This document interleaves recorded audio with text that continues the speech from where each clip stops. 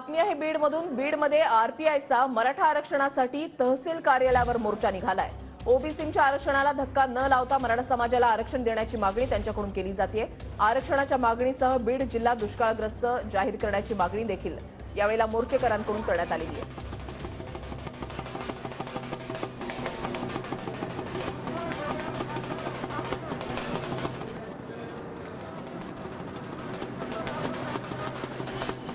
महेंद्र मुदोळकर आमचे प्रतिनिधी आमच्यासोबत आहेत. अधिक माहिती जाणून घेणार आहोत. महेंद्र.